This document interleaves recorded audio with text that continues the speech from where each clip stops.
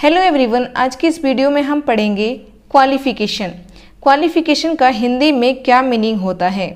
Qualification means होता है योग्यता, गुण, विशिष्टता, नैतिक शक्ति, काबिलियत. For example do you have a qualification in teaching क्या आपके पास शिक्षण में योग्यता है या टीचिंग में कोई योग्यता है?